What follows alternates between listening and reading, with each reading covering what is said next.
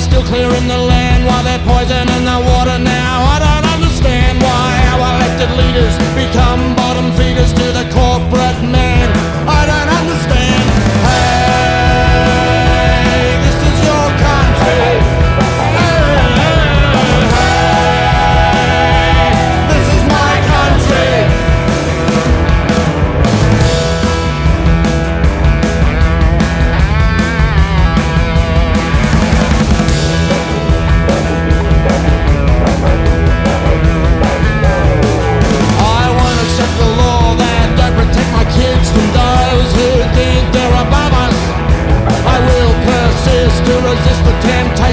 exist